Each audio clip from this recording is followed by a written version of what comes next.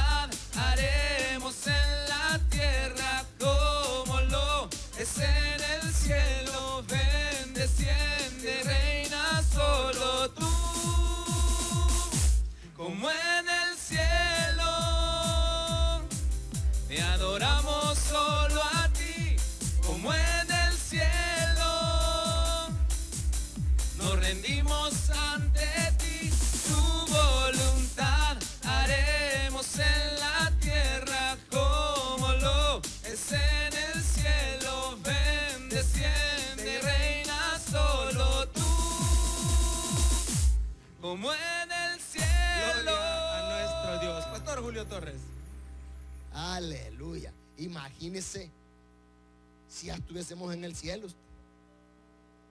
Ya estuviéramos aplaudiendo que no está la suegra con nosotros, ¿me entiende? Porque allá no nos vamos a conocer. Porque mire, ¿qué tal si nos conocemos allá en el cielo? Tendría que haber recuerdos. Y al haber recuerdos hay pecado. Dice que nadie inmundo entrará al cielo. Entonces siéntase como en el cielo. Aprenda a decir, Señor, perdóname porque quiero perdonar. Sentir el sabor del perdón. Ya que es noche de familia y estamos en la semana de los 39 años, busque la reconciliación. Busque la reconciliación. Dios está con nosotros. Vamos a orar. Padre, te damos gracias, Señor, por lo bueno que eres. Gracias, mi Dios, por tus maravillas. Porque como en el cielo, Señor, hoy te clamamos. Abre las ventanas de los cielos, mi Dios, y derrama tu bendición sobre cada familia, cada hogar, Señor. Cada pareja, cada matrimonio, se nos ponemos en tus manos hoy. Háblanos al corazón. Hemos sentido tu presencia maravillosa. Bendice nuestro empleo, nuestro trabajo, esa empresa, Señor, ese negocio, le he puesto en el mercado, la tiendita, Señor. Porque eso es lo que tú estás usando, Señor. Para que el pan llegue a casa. Hoy te clamamos, mi Dios, por un milagro en la familia. Por la sanidad de papá, Señor, de mamá. Ese niño, Señor, que está en el Bloom. Ha quedado con fiebre en casa, Señor. Hoy, Señor, te suplicamos que derrames tu santo poder. Espíritu Santo, Señor, hemos creído en tu poder. Bendice nuestro culto de principio a fin, Señor. Háblanos al corazón. Te lo suplicamos todo, mi Dios, en el nombre de Jesús. Amén y amén. Dele un fuerte aplauso al Señor y tome asiento. Decía un pastor, que él fue mi líder, decía el, pa- el pastor, el pastor Ángel Ortiz, decía, beba un asiento, decía este. ¿Ve ¿Qué van? ¿Usted quiere beberlo? Bébaselo, tómese el asiento. Abra su inario en el 376. Hey, ya empezó la semana zángana. Ah, así es que a celebrarla. Si chupa, me invita. Y así lo dejo que traiga el diezmo de una botellita, ¿me entiende? Yo le voy a permitir que tome una botella, pero me trae el diezmo de la botella. Pero si no, no, si entonces véngase sobre el próximo lunes, porque le vamos a tener su botellazo también. 376. Hermano, haga un momento especial su contacto con el Creador. Si usted tiene su familia, entréguesela al Señor. Y diga, hay momentos que mis palabras no me alcanzan. Háblele con Él y para acá, Él comenzará a obrar. Cantémosle al Señor. Hay momentos que mis palabras no me alcanzan para decirte lo que siento por ti, mi buen Señor. Hay momentos que mis palabras no me alcanzan para decirte lo que siento por ti, mi buen Señor. Yo te agradezco que hiciste, por todo lo que haces y todo lo que harás. Yo te agradezco por todo lo que hiciste, por todo lo que haces y todo lo que harás. Oye, pasado, presente y futuro. ¿Cómo alcanza usted sus proyectos? ¿Mm? Planifica y piensa, quiero llegar allí. Y en medio de eso, mete las estrategias. Y una estrategia, ser hermano, que se tome de la mano del Señor. Agárrese con las dos manos, así como decía Pastor con las dos manos agárrese hasta que me bendigas. Entonces él siente el 378. Toma por favor mi mano, Señor, contigo quiero ir. ¿Hasta dónde? Hasta el cacho se llamaba un cuento mexicano. De un hombre que con un cuchillo mata a alguien, pero dice hasta el cacho y le mete hasta la cacha, le mete. Así hasta el cacho. Vamos de la mano con el Señor. Toma por favor mi mano, Señor, contigo quiero ir. Oiga, Tú diste aquí tu sangre por mí, te quiero hoy servir. Anhelo poder lo malo vencer y en santidad vivir. Toma por favor mi mano, Señor, contigo quiero ir. Toma por favor mi mano, Señor, contigo quiero ir. ¿qué hizo en la mañanita que abrió sus ojitos? Uno ya está de vacaciones. Otros fuimos a trabajar. Entonces, ¿qué hizo? Comenzó a caminar tras el Señor, pero tomó una decisión. Me levanto, me baño, hago mi, devocional y vámonos, Señor. ¿eh? Tome esa decisión. 380. He decidido seguir a Cristo. Es una decisión que le va a causar una gran bendición con todo su corazón. He decidido seguir a Cristo. He decidido seguir a Cristo.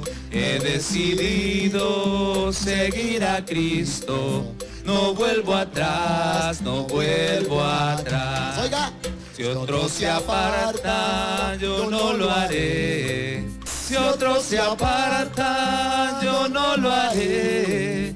Si otro se aparta, yo no lo haré. No vuelvo atrás, no vuelvo atrás. ¿Quién tomó la decisión? Póngase de pie y lo vamos a cantar otra vez, pero hoy sí como soldadito, bien arrechito. Usted tomó una decisión de seguir a su creador, al que le da la sabiduría y la inteligencia. Y dele con todo, porque para nuestro Señor es toda la alabanza. He decidido seguir a Cristo. He decidido seguir a Cristo. He decidido seguir a Cristo. No vuelvo atrás, no vuelvo atrás. Si otro se aparta, yo no lo haré. Si otro se aparta, yo no lo haré. Si otro se aparta, yo no lo haré. No vuelvo atrás, no vuelvo atrás. Paz, Así paradito, 384. Ya que está, ya está entonadito, hoy cantémosle a Jehová. ¿eh? Ya, ya sí, ya, tomó una decisión. Hay momentos que son inolvidables. Por lo tanto, hoy, cantada a Jehová. Oiga, un cántico nuevo. ¿Quién ya recibió a Jesús? Entonces usted ya nació de nuevo. Hoy tenga un cántico nuevo en su lengua. Vamos una vez más al Señor. Cantad a Jehová, un cántico nuevo, cantad a Jesús. Un cántico nuevo, cantad al Espíritu, un cántico nuevo. Cantad a Jehová, cantad a Jesús, cantad al Espíritu. ¿Y qué hizo Dios? Hizo maravillas y qué hizo Jesús. Hizo maravillas y que hizo el Espíritu. Hizo maravillas.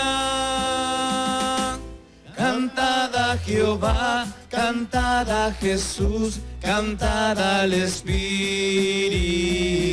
El milagro. El mar nos abrió y todos pasamos, el mar nos abrió. Y todos pasamos, el mar nos abrió. Y todos pasamos. Cantad a Jehová, cantad a Jesús, cantad al Espíritu. Siente esa presencia divina del Señor. Aleluya. La siente 387. Yo sé que estás aquí, mi Señor. Adórele, porque Él vive, decía allí, adórele, porque Él vive. Ese grito de ese me gustaba. Decía, tenga autoridad sobre el pecar, decía él. Y decía, algún día voy a poder quitar eso. Todavía no puedo. ¿Ah? 387, yo sé que estás aquí, mi Señor, con todo su corazón. Yo sé que estás aquí, mi Señor. Yo sé que estás aquí, mi Señor. Mi alma te alaba, mi alma te alaba, mi alma te alaba, porque sé que estás aquí.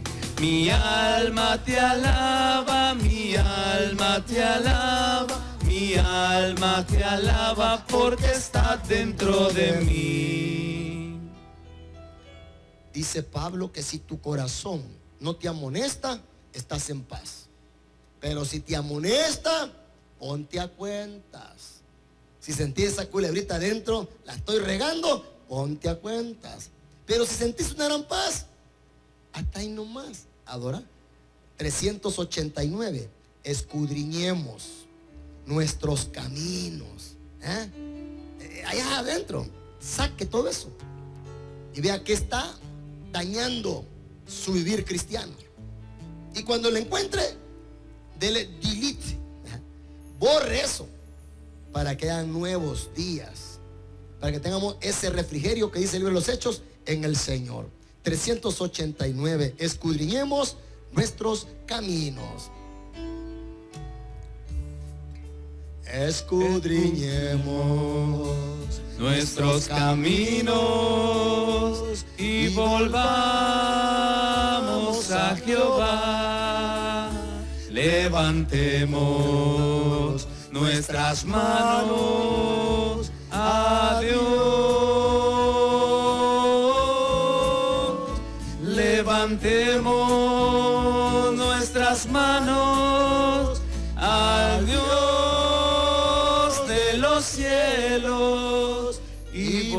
volvamos a Jehová nuestro Dios por la bondad de Jehová. No hemos sido consumidos porque nunca decayó su bondad. Nuevas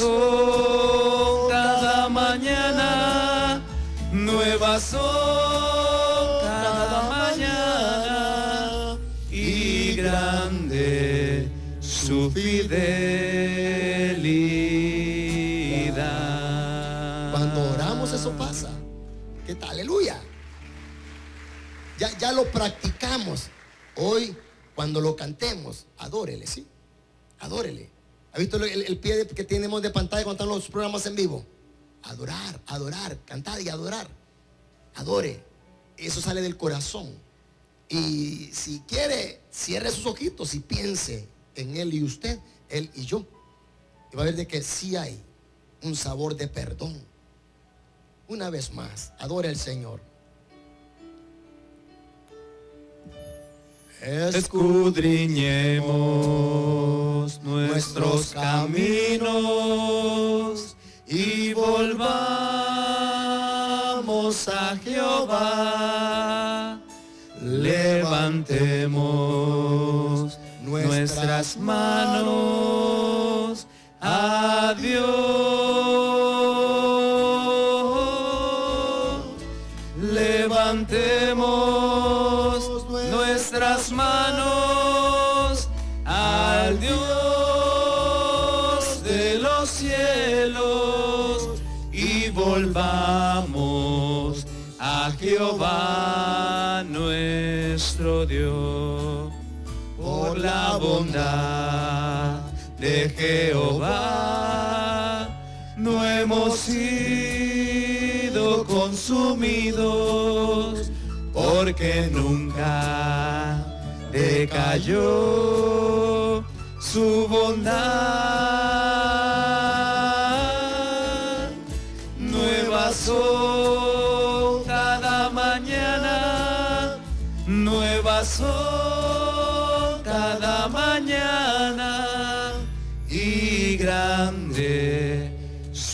Fidelidad. Denle un aplauso, tome asiento y 397. Aquí sí ya es de decir, Señor, ya estamos claros, tenemos una noche esplendorosa, vamos a hablar, hermano, de cosas maravillosas. Entonces, te vengo a decir. Y si la quieren estar como ranchera, dele, Marco Cuite de todas formas la canta. Te vengo a decir.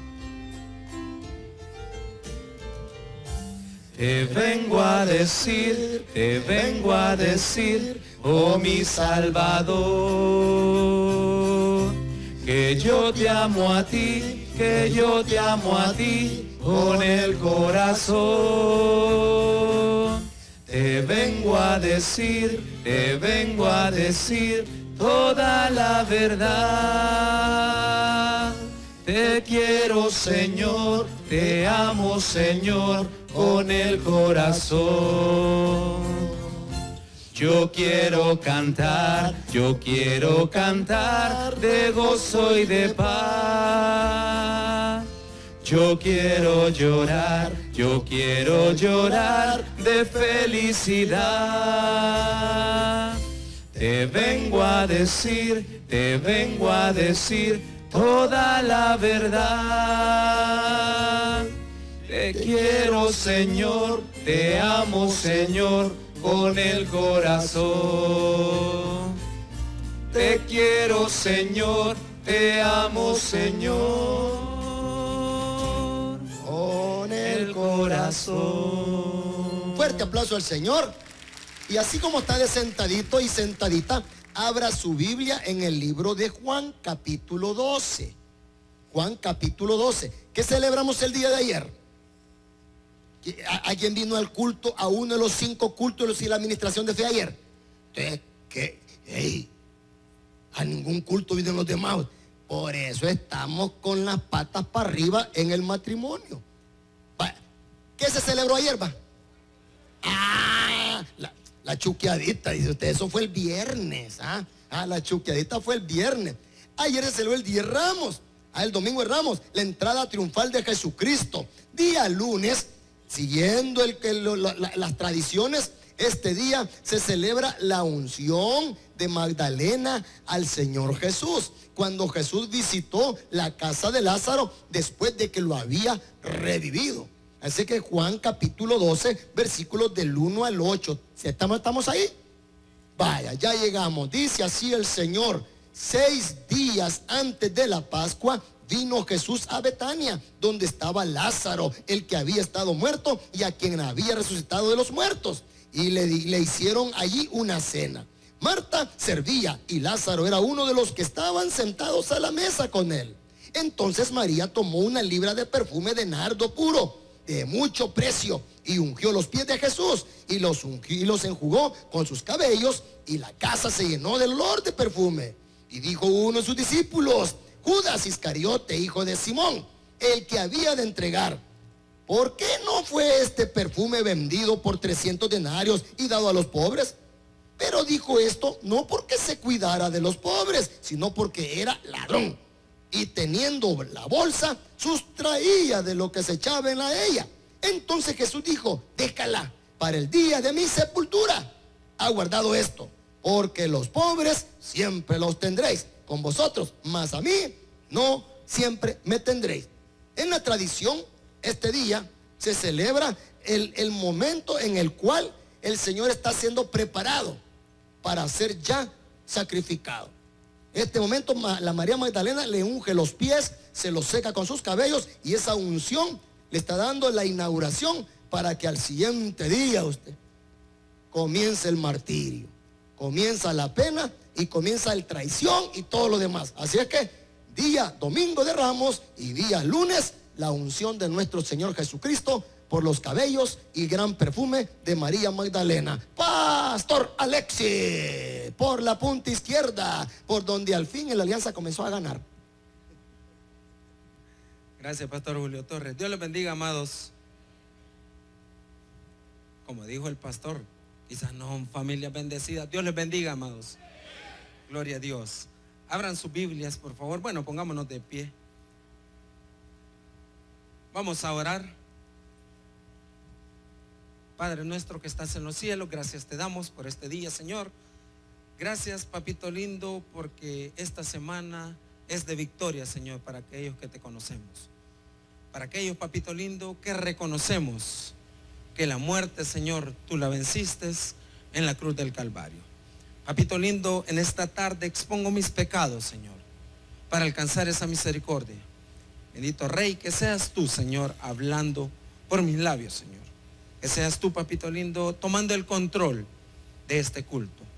Bendito Rey, gracias por lo bueno que tú eres. Bendice este culto de familias en victoria. Señor lindo, en el nombre de Jesús. Amén y amén. Evangelio según San Marcos. Pueden tomar asiento, mis hermanos. Evangelio según San Marcos, en su capítulo 11. Como dijo el pastor Julio Torres el día de ayer, el domingo de Ramos. Y vamos a comenzar a darle la secuencia de lo que pasó, de los acontecimientos que sucedieron, valga la redundancia, en este tiempo de nuestro Señor Jesucristo. Una de las cosas que me gustó en la última reunión que tuvimos como grupo de trabajo fue que el pastor Junior dijo, denle en secuencia a lo que es la Semana Santa, incluido, dijo, familias en victoria. Y eso es importante. Porque a veces nosotros eh, retomamos consejos, pero consejos quizás de parte del, hombre. Pero los consejos están plasmados en la palabra de Dios. Quiere decir que Dios nos ha dado los mejores consejos a nosotros. Y a veces nosotros no entendemos qué significa la Semana Santa. Y a veces nosotros venimos y solamente eh, andamos de un lado para otro, pero no sentimos el significado qué es lo que pasó en cada día. Y este señor llamado Marcos, Juan Marcos, que no conoció a Jesús, bien lo explicó el día de ayer, los que vinieron al culto de las nueve, nuestro pastor Junior. No lo conoció, pero él tuvo algo en su mente y en su corazón, quizás esa espinita que quizás algunos de nosotros andamos cargando, de querer conocer más de la palabra de Dios. Y él adquiría conocimiento cuando escuchaba a Pedro, allá en Hechos de los Apóstoles, predicar. Y él predicaba. Y quizás yo me imagino, quizás este señor llamado Juan Marcos, que era primo de Bernabé, quizás se, se ponía a pensar quién era este Jesús. Que a pesar de no conocerlo, él tenía en su corazón el deseo de querer conocer más de Jesús. Así cuando alguien se acerca y nos dice, pastor, ¿y qué es teología? Y comenzamos nosotros a explicarle es porque hay una espinita quizás, o hay algo en el corazón que Dios le ha dicho, tenés que hacerlo. Si usted tiene esa espinita en su corazón, en su mente, de querer hacer las cosas, hágalo, hermano.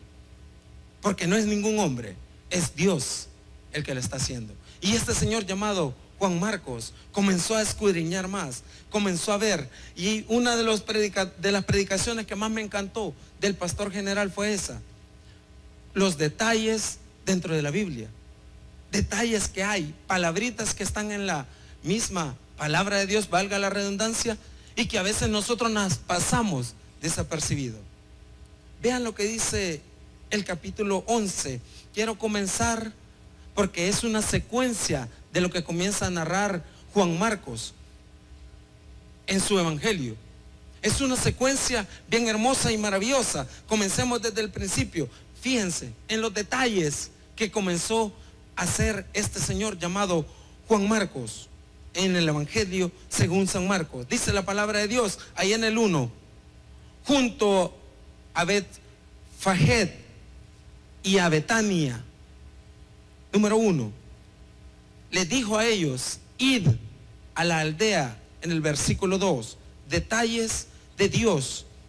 ¿Por qué? Porque Dios ya los había dado por medio de los profetas anteriormente. Pero quiero comenzar a meterme en el Domingo de Ramos para llegar a este día, lunes santo. Dice, hallaréis un pollino atado, ningún, ningún hombre ha montado. Vea qué interesante esto. Por eso cuando nuestro pastor comenzó a predicar de la importancia de este asno, que qué privilegio de este asno el poder cargar a nuestro Señor Jesucristo. Dice que nadie lo había montado. Número 5. Y dice que cuando le, cuando le preguntaran a los discípulos, ellos tenían que contestar esto. Número uno, el Señor lo necesita. Y número dos, lo devolverá. Qué importante. Detalles dentro de la palabra de Dios. El Señor lo necesita. Y número dos, lo devolverá. Más abajo, en el 6, dice que los dejaron ir. Dejaron que se llevara el asna del pollino. Y en el 11 comenzamos a ver lo que va a suceder en el día lunes, el siguiente día. Dice en el 11, y entró Jesús en Jerusalén y en, el templo, y habiendo mirado alrededor todas las cosas, como ya anochecía, se fue a Betania con los doce. El domingo de Ramos fue a visitar el templo, fue a comenzar a ver cómo estaba el templo, qué había en el templo, qué sucedía en el templo. Y quizás nuestro Señor Jesucristo se le entristeció el corazón al ver todo lo que sucedía, al ver todo el relajo que tenían. Y vamos a comenzar a hacer una comparación respecto a la familia. Por eso el tema para este mes es la familia y la iglesia. Relacionado directamente con el compromiso que tiene la iglesia para con nuestro Señor Jesucristo. Que a pesar de todo lo que nosotros somos, a pesar de todas las cosas que hay en nuestra vida, a pesar de que le fallamos, de que le somos infiel, una cosa tiene Él, Él es fiel y se mantiene firme. Jamás nos va a dejar, jamás nos va a desamparar. Él lo ha prometido, Él lo va a cumplir. Nosotros fallamos. Y vamos a comenzar a ver lo que pasó el día lunes. Dice la palabra ahí en el 12, 11, 12. Lo vamos a leer hasta el 14. Al día siguiente, cuando salieron de Betania, tuvo hambre y viendo de lejos una higuera que tenía hojas, fue a ver si tal vez hallaba en ella algo. Pero cuando llegó a ella, nada halló, sino hojas, pues no era tiempo de higos. 14. Entonces Jesús dijo a la higuera, nunca jamás coma nadie fruto de ti. Lo oyeron sus discípulos. Ok, comencemos a ver algo muy importante. Dice que al día siguiente a Jesús le dio hambre. Ese es algo muy importante para nuestra vida. En teología se llama la unión hipostática de Dios. O sea, el 100% hombre y 100% Dios. O sea que Él tuvo necesidades como las nuestras. Él tuvo problemas como las nuestras él tuvo esa necesidad de querer adquirir algo y no encontró nada. Y comencé a investigar un poco acerca de lo que era la higuera. Dice, número uno, la higuera, cuando es joven, tiene que estar en un suelo rico, porque si no, no se fructifica. Cuando una higuera es joven, tiene que estar en un suelo rico, tiene que estar en un, en un suelo que le ayude a crecer. Número dos, en primavera da frutos antes de cubrirse de hojas. Si estamos hablando que en estos momentos en los cuales nuestro Señor Jesucristo iba pasando, no tenía nada, esa es la característica número tres de la higuera.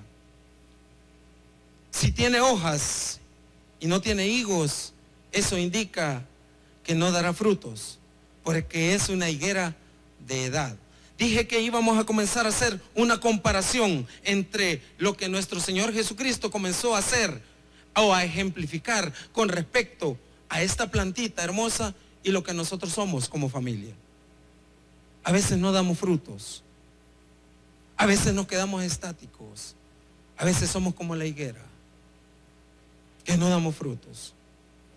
Y algunos de los conocedores dan estas características de lo que significa la higuera.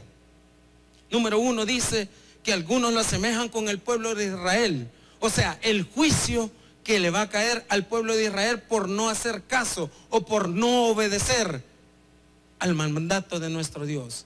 Y bien lo dijo el profeta Oseas en su capítulo 9, versículo 10. Si usted lo tiene, lo puede buscar conmigo. Oseas 9:10, allá en el año 750 antes de Cristo. Y si nosotros estamos hablando de San Marcos, esta fue escrita entre el año 55 y 65 después de nuestro Señor Jesucristo.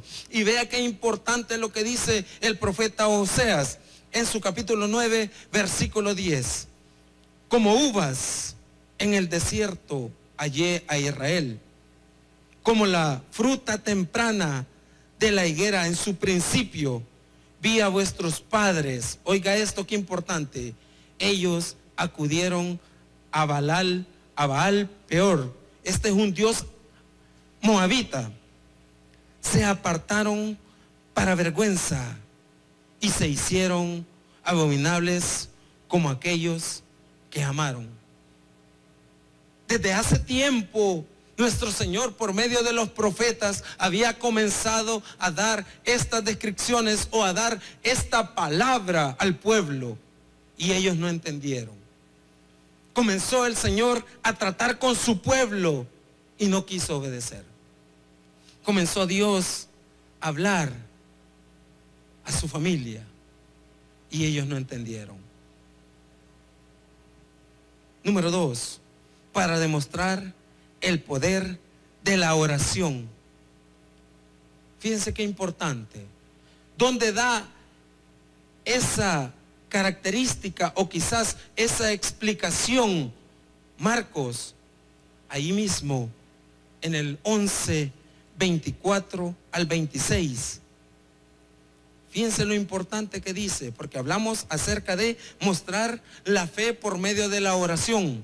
Familias, en victoria, tenemos que ocupar la oración como un medio para acercarnos a nuestro Dios todos los días de nuestra vida. Dice en el 24, por tanto os digo que todo lo que pidieres orando, creed que lo recibiréis y os vendrá. 25 y cuando estéis orando, perdonad si tenéis algo contra alguno, para que también vuestro Padre que está en los cielos os perdone a vosotros vuestras ofensas. 26.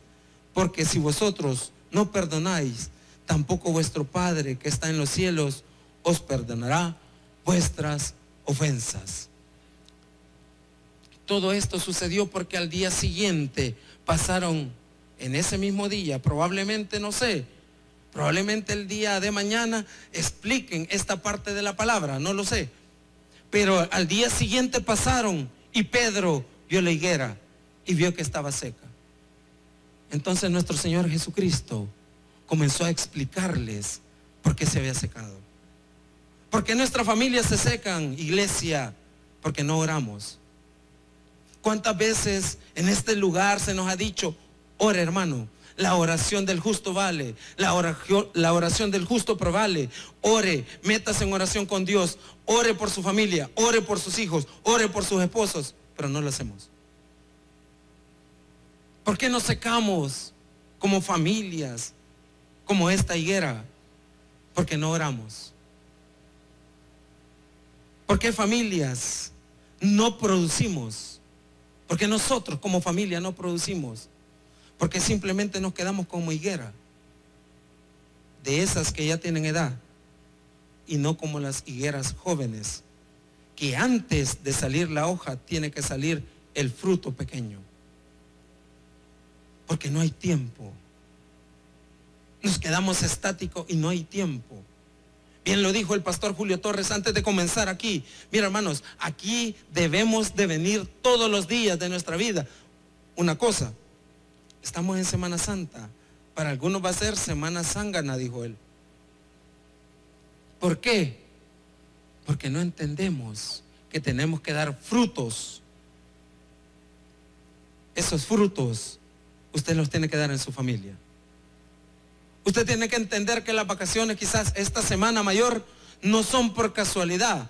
O no es para que usted vaya a derrochar su dinero o a disfrutar a la playa o andar viendo lo que no tiene que ver. Es para conmemorar la muerte y resurrección de nuestro Dios Todopoderoso. Gloria a Dios. Entonces para nosotros es una fiesta para Dios. Para nosotros no es un festín para el mundo. No quiero hablar de tradiciones, pero comencemos a recordar un poco qué hacíamos cuando no estábamos en la iglesia de Cristo. ¿Cómo qué pensaba hacer usted? ¿A dónde añoraba ir? ¿Qué hacía con su familia? Ahora dedíquele tiempo. Ahora de frutos ahora ayude para que no se seque. Nuestras familias se secan como la higuera porque no damos frutos, porque nosotros no enseñamos. Y esa es una parte bien esencial. Nuestro Dios siempre trataba de enseñar. Anteriormente a todo esto el Señor venía y comenzaba a anunciar que se iba a morir. Él anunciaba su muerte. Él les decía, acercaos, acercaos, el tiempo ya viene. Pero no entendía. El pueblo no entendía. De repente se le acercó un ciego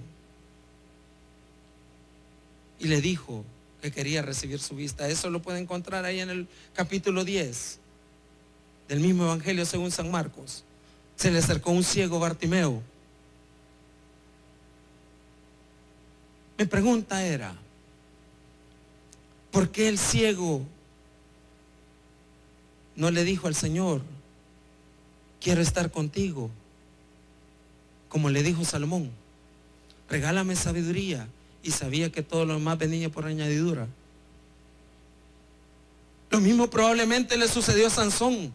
Una vez más, Señor, una vez más. Pero ¿por qué no le pidió vida? A veces nuestros milagros, nuestras peticiones no llegan a nuestra familia, hermanos, porque pedimos mal. Porque no tomamos en cuenta a Dios en nuestras decisiones. Y simplemente nos quedamos como esta higuera seca. Porque no damos frutos. Dad frutos dignos de arrepentimiento. Que en nuestra vida se note nuestro cristianismo. Que en nuestro ser se note nuestro cristianismo, que en nuestras familias se note nuestro cristianismo. Otro de los profetas que comenzó a hablar acerca de estos tiempos fue Naúm, capítulo 3, versículo 12, allá en el año 622 antes de nuestro Señor Jesucristo. Naúm 3, 12. Yo sé que algunos no lo van a encontrar, pero ahí está, hermanos.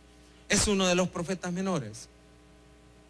Dice la palabra de Dios, todas tus fortalezas serán cual higuera como breva, O sea, esta es los frutos de las primeras dos cosechas, lo que le expliqué de la higuera joven.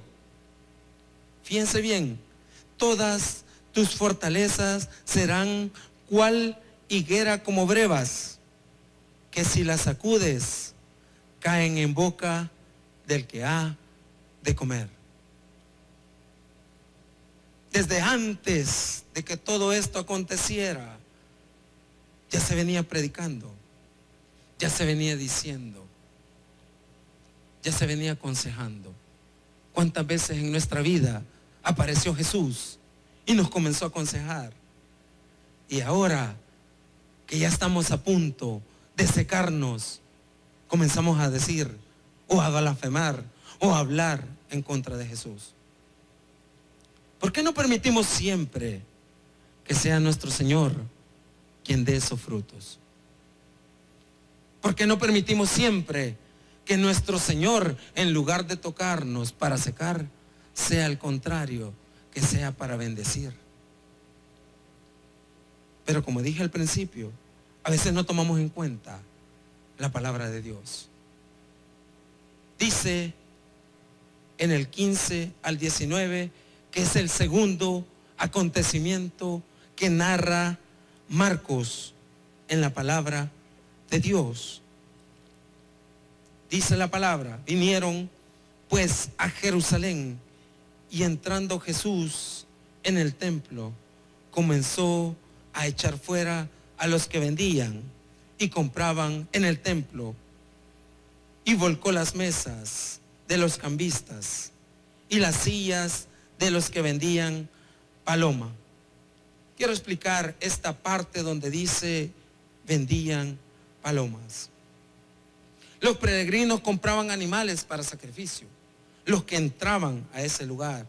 Primeramente era ocupado o se podía decir que era un área para los gentiles, los que estaban afuera. Porque no podían ingresar por no ser judías, no podían ingresar al templo. Entonces lo ocupaban como un lugar para hacer comercio. Lo ocupaban para sacar impuestos. Y eso desagradó a nuestro Señor Jesucristo. La forma por la cual era la venta de palomas por tres cosas. Número uno, la purificación a las mujeres.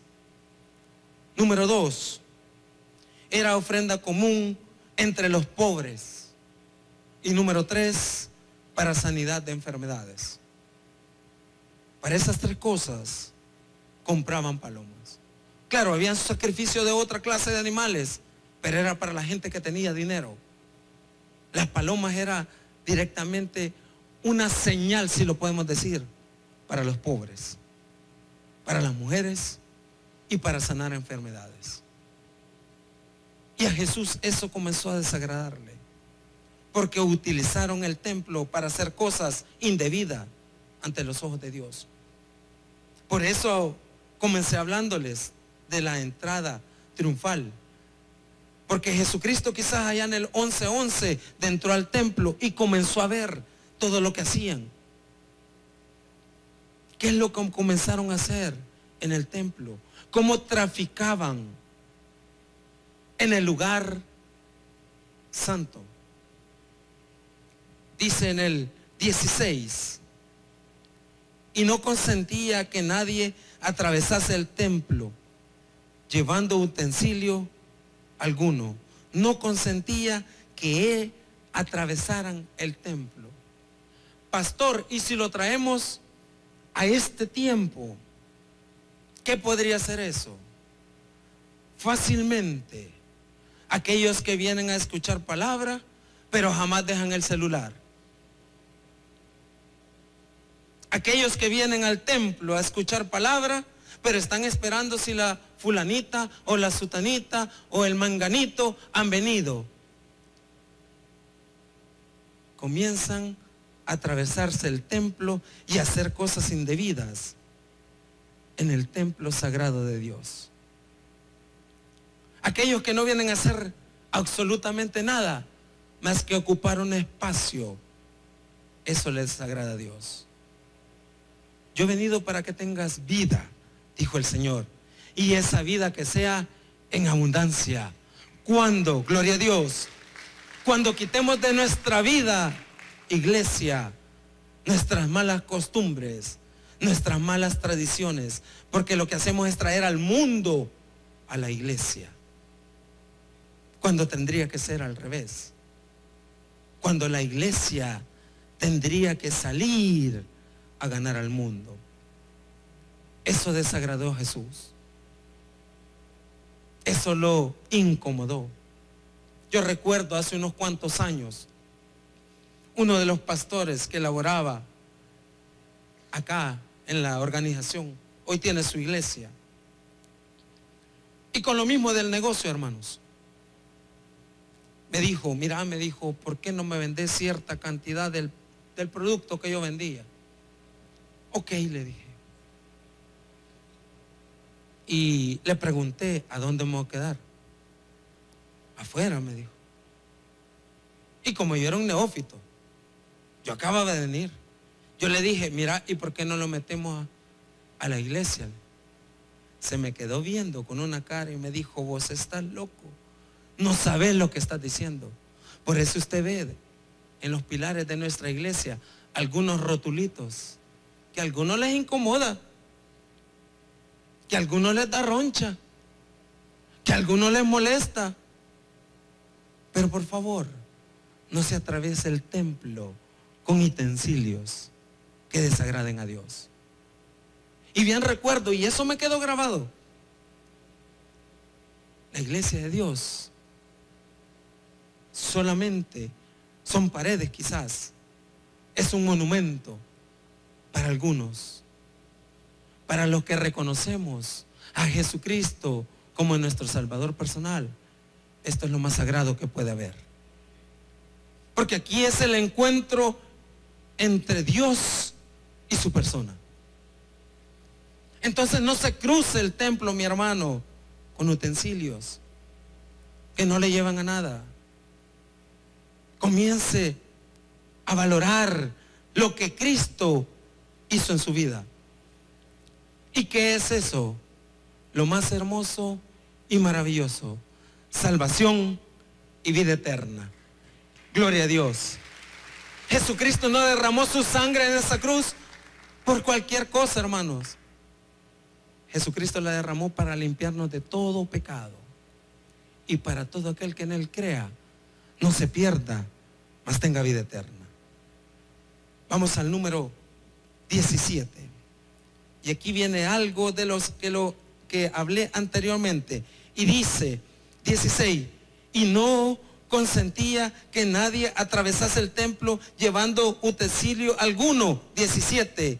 Y les enseñaba diciendo, no está escrito, mi casa será llamada casa de oración. ¿Para quién?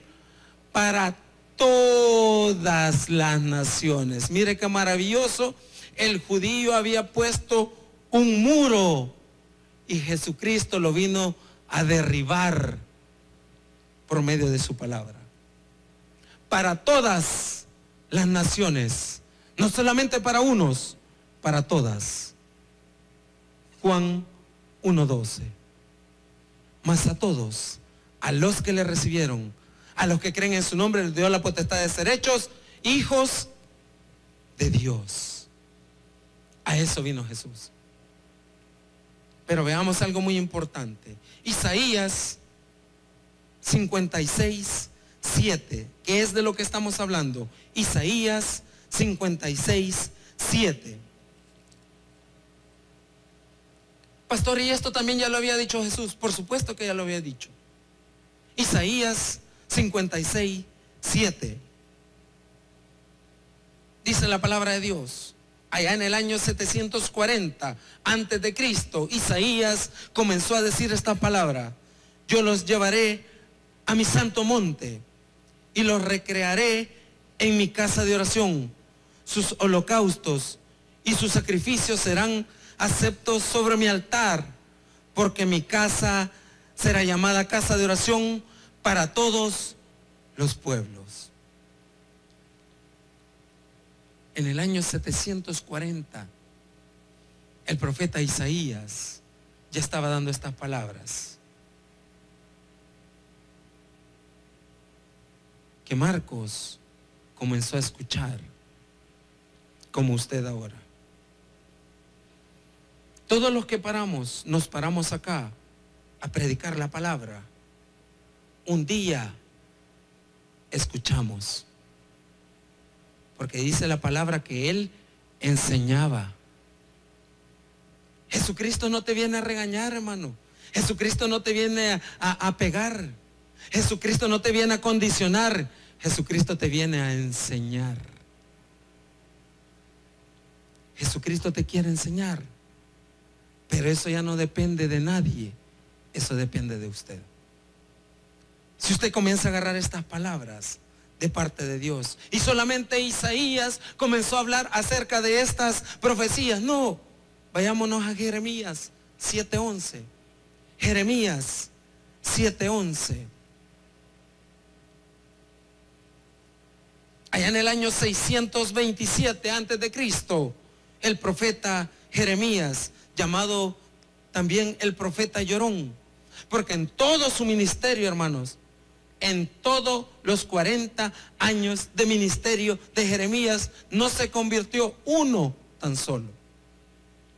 Y a pesar de todo eso, Jeremías dijo estas palabras.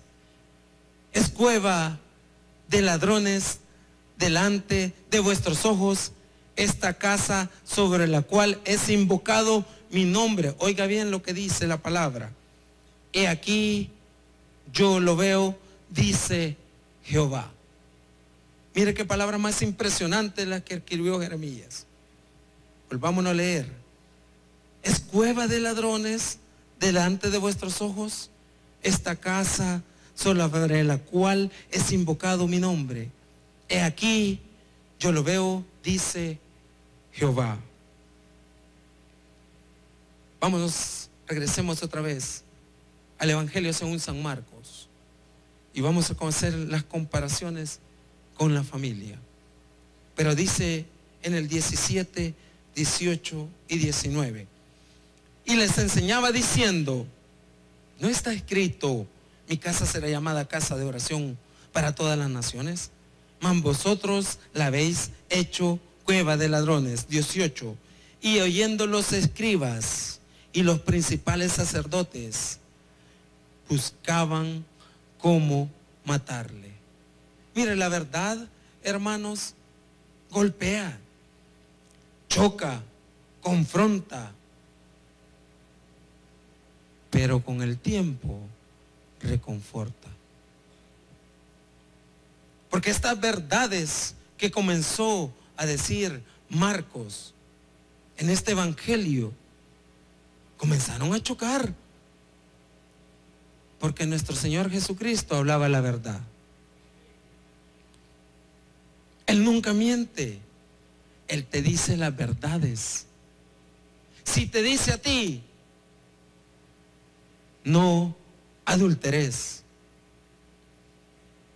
eso te carrea problemas. Y me dice el pastor Julio Torres, mira, para el otro mes me dice, vamos a ir con este tema. Me, qué bien, dije yo. Porque son los temas que están arruinando la familia. ¿Saben cuál es? El divorcio. Están arruinando la familia. Porque hoy se casan dos y se divorcian cuatro. ¿Por qué? No llegamos ni siquiera al tiempo. No, llegamos quizás al cumplimiento de lo que dice la palabra. Esas son las verdades que Jesús decía. Y por eso se enojaban. Por eso sentían que les chocaba esa palabra de verdad. Esa palabra que no es con fingimiento. Esa palabra que es con claridad. Esa que viene de parte de Jesús. Dice, y lo oyeron los escribas y los principales sacerdotes. Miren quiénes lo escuchaban y buscaban cómo matarle. Ahí viene la segunda parte. Porque le tenían miedo. Porque cuando todo el pueblo estaba admirando su doctrina, vaya, ¿qué es lo que admiraban? La palabra, lo que usted tiene en la mano, lo que aquí se le dice, hermanos lindos, ese es el camino, esa es la verdad, esa es la vida, eso que es Jesucristo transformado en la palabra que usted tiene en sus manos. Esos consejos que están plasmados en la palabra de Dios. Esos consejos que nadie los puede negar. ¿Sabe quién las niega? El que anda torcido. El que como dijo el predicador que vino de Guatemala o el March, andan chuecos. Esos son los que no soportan la verdad de Cristo. 19. Pero al llegar la noche, Jesús salió de la ciudad. Se cree que fue otra vez a Betania. Se cree que regresó otra vez.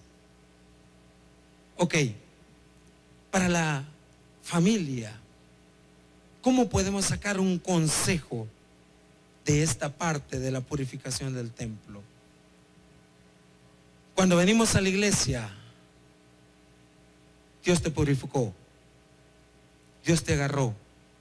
Recibiste a Cristo como tu Salvador personal, Él te limpió. Pero ¿dónde nos perdimos?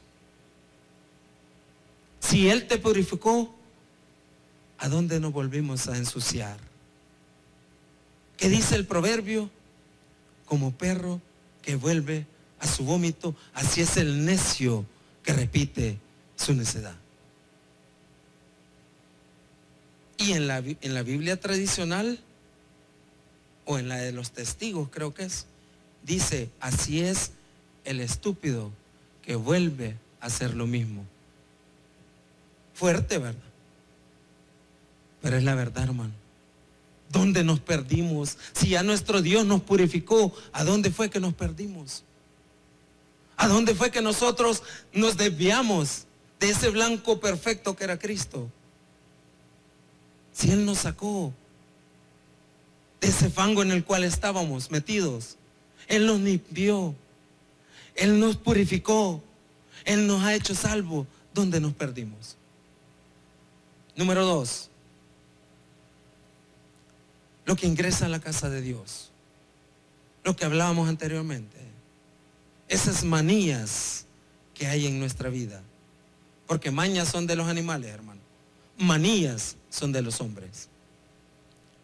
Esas manías que hay en la vida del ser humano, esas cosas que nos rompen la relación para con nuestro Dios. Esas cosas que nos quitan esa comunión con Dios. Un día escuchando a la hermana Patti, perdón que diga el nombre, pero ella lo dijo en público y nosotros lo escuchamos. Ella dijo, perdón por lo que voy a decir en su forma bien suave de, hablar, nuestra hermana Patti dijo, pero ¿dónde me pierden la música? A mí me gusta la música. Y cuando la escuché, yo sentí esa puñalada aquí. ¿Qué escuchamos en nuestros carros? ¿Qué escuchamos en nuestras casas? Señorita que va a la universidad, ¿cuál es tu amigo más cercano? Los que, que reciben clases de bachillerato. ¿Qué es lo que nosotros vemos en el Facebook? ¿Dónde nos perdimos? Si Dios ya nos purificó, si Dios ya nos santificó, si Dios ya nos sacó, ¿a dónde fue que nos perdimos? manías que ingresamos al templo. El lugar donde usted está sentado es santo. Le pertenece a Dios. ¿Se acuerdan de aquel proyecto que dijo nuestro pastor fundador? Any problem, be blue. Cualquier problema, quédese en su silla. La silla mágica, no. La adoración que usted le haga a Dios es lo que va a salvar sus problemas. Gloria a Dios. Esa comunión que usted tenga con Dios, mi hermano, esa es la que va a solucionar cualquier problema. No es la silla, no es el pastor, no son los servidores, ni siquiera el edificio. Es su comunión con Dios. Eso es lo que va a cambiar cualquier destino de su vida. Y termino con esto.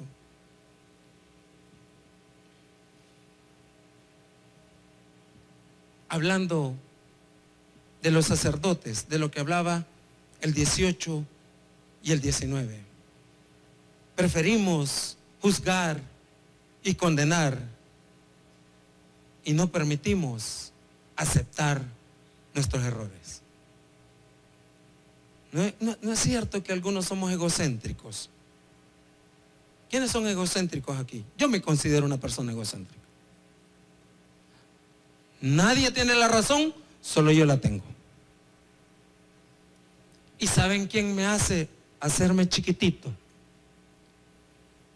Dicen que nosotros somos candil de la calle y oscuridad de la casa. Y nadie es profeta en su propia tierra. Pues déjenme decirle que yo sí. Porque la primera que me comienza a decir las cosas en mi cara es mi esposa.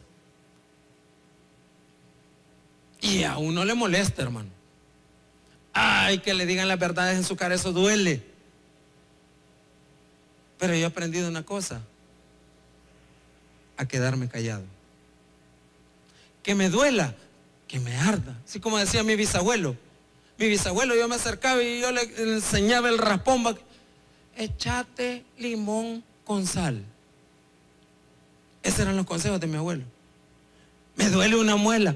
Echate limón con sal. Me duele un ojo. Echate limón con sal. Así como eso, hermano.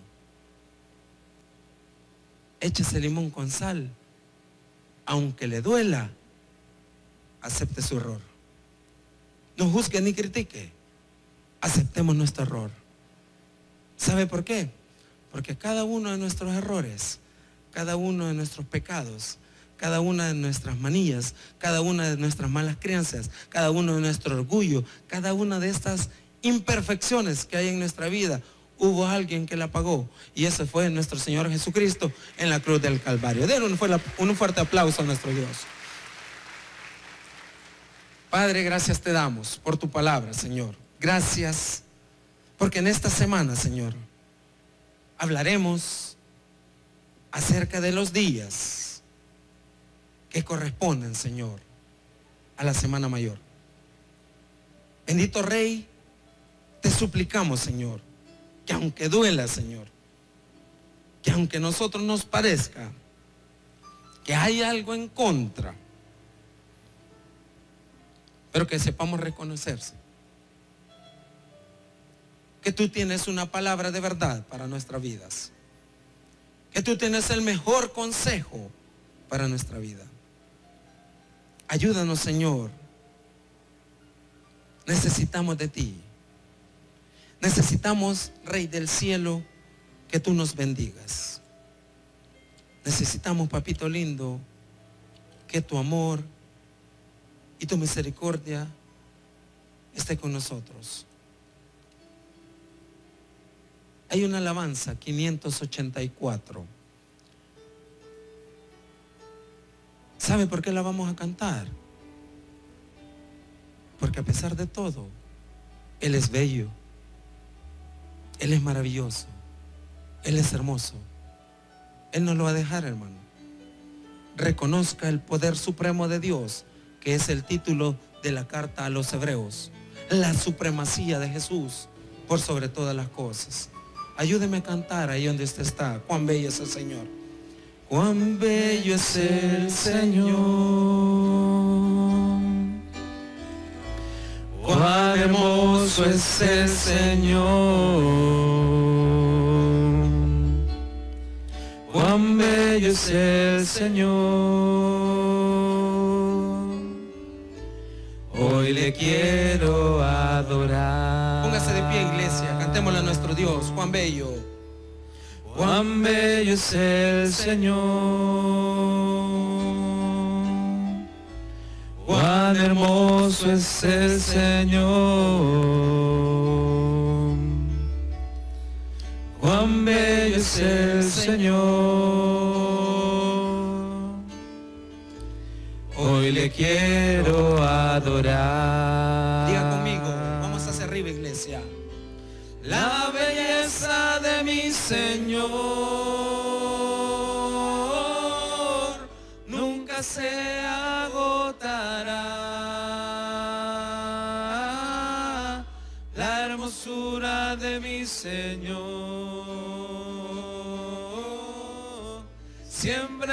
resplandecerá.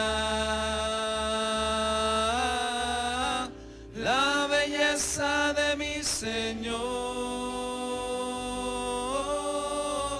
nunca se agotará. La hermosura de mi Señor siempre resplandecerá. Gracias Hijo, gracias Espíritu Santo. Bendice Señor la culminación de este culto. Gracias por lo bueno que tú eres. En el nombre de Jesús. Amén y amén. Regálenle una ofrenda de palmas y manténgase en pie. Mi hermanos, que ha llegado el momento de darle a Dios la parte que le corresponde. Usted sabe, mi hermano, esto no es con los invitados, no se sienta mal. Esto es con los que pertenecemos a la iglesia. Usted sabe los compromisos que ha hecho con el Señor, no con la iglesia, con el Señor. Usted sabe que aquí cada día salimos al evangelismo en las calles. Cada día se salen a las cárceles, se salen a las Bartolinas, se sale a oración express, se va a los funerales, se va a los entierros, el albergue, mis hermanos. Hay que darle todos los días de comer a los niños. Proyecto Retorno, mis hermanos, de igual forma.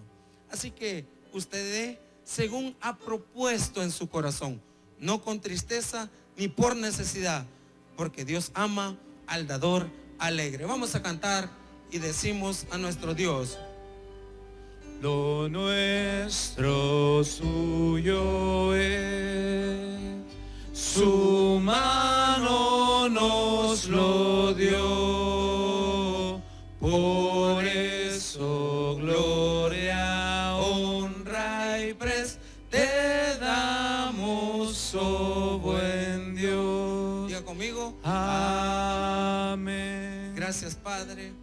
Señor lindo, por lo mucho que nos das. Te pido Señor que bendigas al dador alegre. Pido que prosperes a aquel que viene en necesidad. Señor lindo, te suplico, Señor, por la mano de divosa. Bendícelo grandemente. Gracias por lo bueno que tú eres. En Cristo Jesús.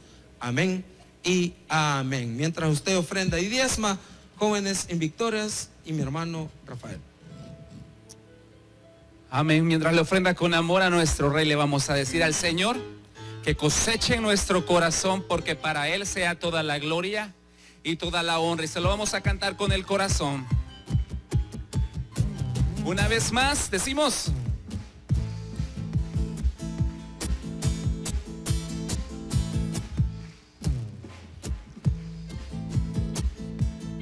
Lo dice con el corazón. Alza tus ojos y mira, la cosecha está lista, el tiempo ha llegado, la mies está madura. Esfuérzate y sé valiente, levántate y predica a todas las naciones que Cristo es la vida y será. Llena la tierra de su gloria, se cubrirá. Como las aguas cubre la mar y será. Llena la tierra de su gloria, se cubrirá. Como las aguas cubre la mar. Una vez más con gozo, iglesia.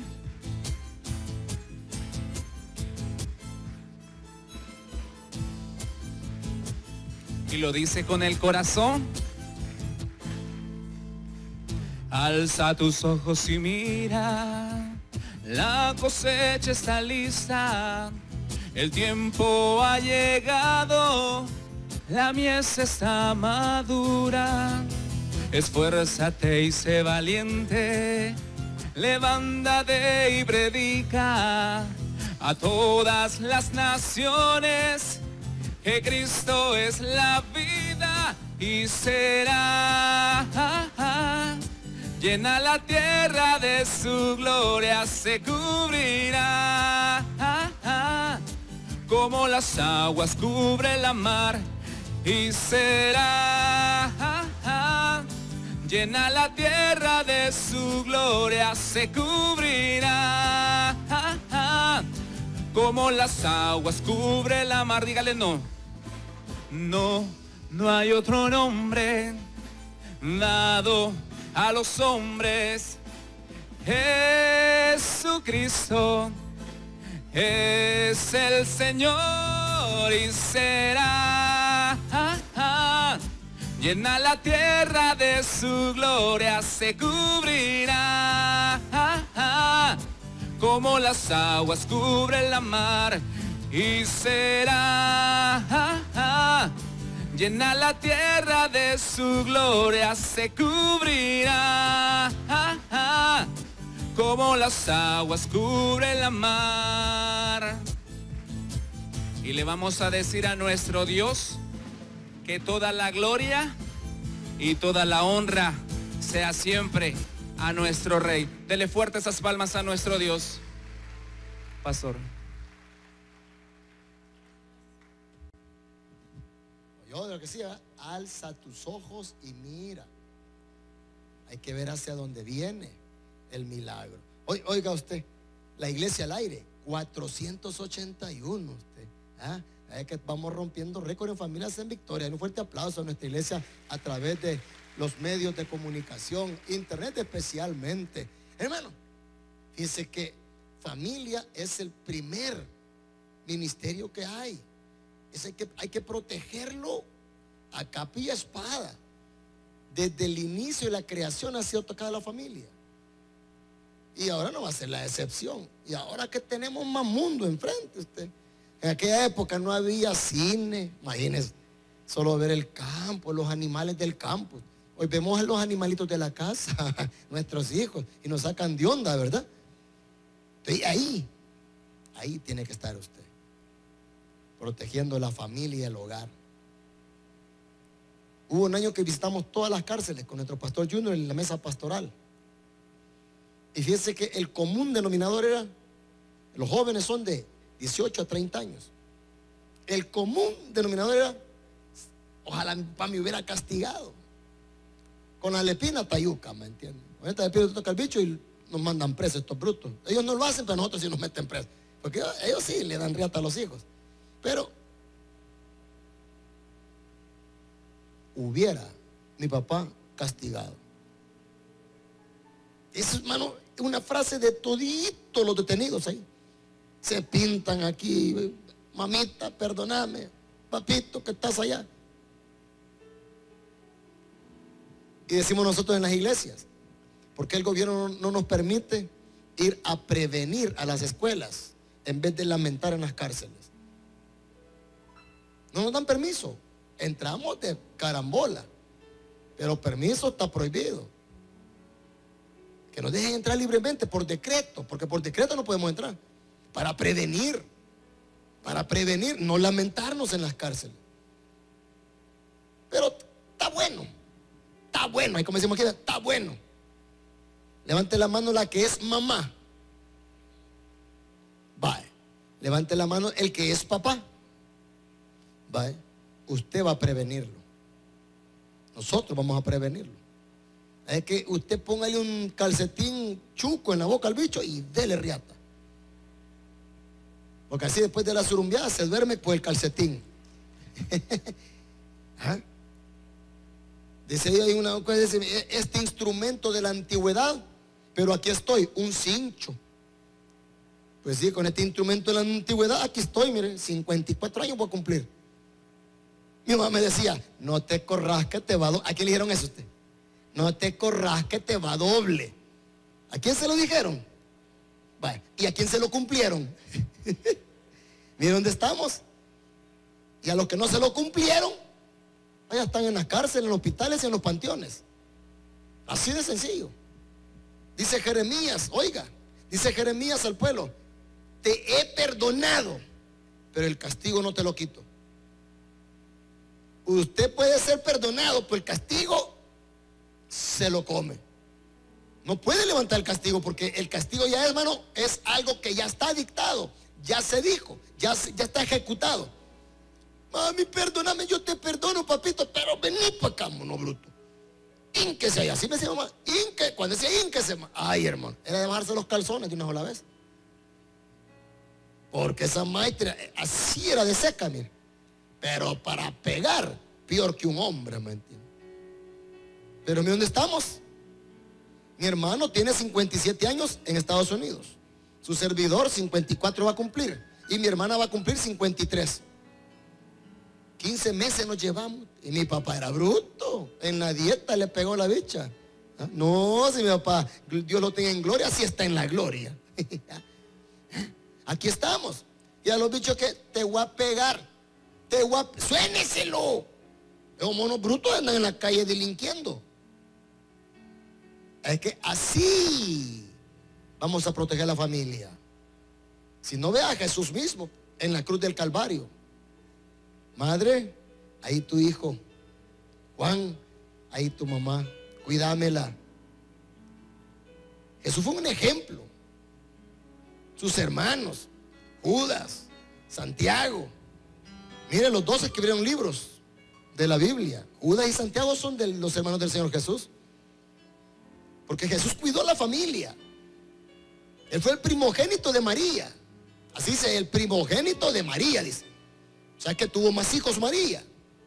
De Dios es el unigénito que murió en la cruz hace dos mil años. Del cual hoy lo estamos recordando. Este día llegó a casa de Lázaro y le María Magdalena quebró aquel alabastro. Lo ungió y con sus cabellos lo secaba. Yo siempre digo esto, si Dios te da lo mejor, dale lo mejor, hombre. Dale lo mejor. La ofrenda, ya la diste. hoy tu corazón. Tu corazón. Pensa un poquito en ese trato que puedes hacer con Dios. Hace un pacto con Él. Una buena semana para recapacitar, usted aguantaría uno de esos clavos en su mano. No levante la mano. ¿A cuál mujer ya le ha pegado su marido? ¿A que pegan duro estos brutos en la patada que dan? O con bestias, ¿verdad? Ahora imagínese a Jesús con la bota romana cuando le pegaban la patada. La bota romana era de hierro, la punta, con puntas. El azote con que le cayó, hermano, llevaba huesos quebrados y hierro. No crea que era cualquier cosa. Le tapaban los ojos y ¡pam! ¿Quién te pegó? Las espinas son especiales donde se agarró ese espinero para hacer la corona. Ahora le pregunto, ¿sufrió hasta ahí usted? ¿Sabe una cosa? Hoy, usted no tiene un alabastro. Usted no tiene un perfume, pero tiene un corazón. Hermano, que es un ungüento que va a llegar hasta el cielo esta noche y su familia, sus hijos, usted, van a decir, hasta aquí me ayudó Jehová. Padre bendito, te damos gracias, Señor. Porque realmente te has manifestado. Qué lindo verte entrar, Señor, a Jerusalén, triunfante como un rey. Un rey de nuestras almas. hoy recordar ese aroma grato que llega hasta el tercer cielo. Ese incienso precioso que son nuestras oraciones hacia ti, Señor. Mira, mi Dios, cada familia que estamos aquí reunidos. Tú vas a llevar esa bendición a la familia. Pero tienes que tomar esa decisión de caminar de la mano con Jesús. Tu familia se lo merece, tú te lo mereces. Ven a Jesús, aleluya, gloria a Dios. Alguien más, alguien más. Felicidades, caballero. Felicidades, mi hermanita. Dios le bendiga, bienvenida. Salga la orilla, ahí en derecha, hermana. Alguien más. hombres y mujeres de valor. Eso es lo que necesita Dios. Nunca vas a olvidar una Semana Santa como esta. Porque estás ungiendo a Jesús con tu corazón. Entrégaselo, ven a Jesús, ven a Jesús, es el momento. Jesús dijo, te es necesario nacer de nuevo. Este es el momento de decirle, Señor, quiero entrar a tu regazo. Soy esa oveja perdida. Yo quiero que tú me pongas en tus brazos, en tus hombros, me lleves al redil, me unjas con tu aceite, aleluya, gloria a Dios, hijo. Me guardes. Y cuando salga al campo contigo, me lleves de la mano. Ahí está, tú eres ovejita que Dios quiere tener en sus brazos. Alguien más, alguien más. Alguien más que dice, Señor, quiero ser tu hijo, quiero ser tu hija. Por eso nos llamamos hermanos, porque nos convertimos en hijos de Dios. La sangre de Jesús comienza a correr en nuestras venas. Esa sangre poderosa. Todavía tenemos un par de segundos para ti. atribuimos poder y majestad. Santo es el Señor. Santo es el Señor. A ti atribuimos. Aleluya, hija. Dios te bendiga. La gloria. Dios te bendiga. A ti atribuimos la honra. A ti atribuimos poder y majestad. Santo es, Santo es el Señor. Señor. Denle un fuerte aplauso y bienvenida a esta cosecha esta noche.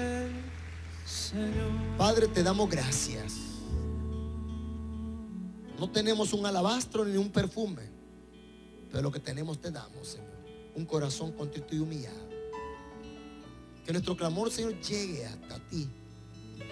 Responde nuestras peticiones, Señor. Somos un pueblo atribulado y solo en ti tenemos paz. Dirígenos en nuestro andar, Señor. Que esta semana sea una semana de reflexión para acercarnos más y más a ti. Guíanos, Señor, a casa. Llévanos con bien. Quita toda hueste de maldad para caminar con seguridad. A su milagro, sánanos. En el nombre de Jesús. Amén y amén. Aleluya. Fuerte aplauso al Señor. Dios nos bendiga.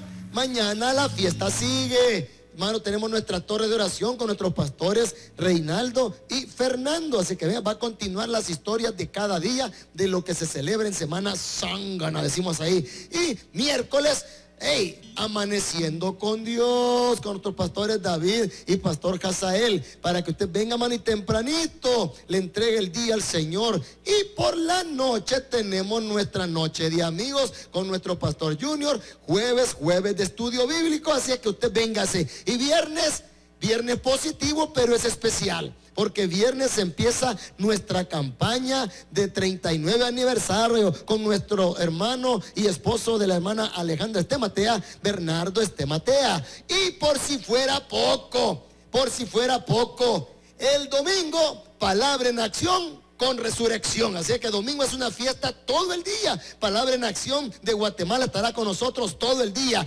desde el culto de las 7 hasta el culto de las 5 de la tarde. Dios nos bendiga, vayamos en paz, celebre bien la Semana Santa en casa.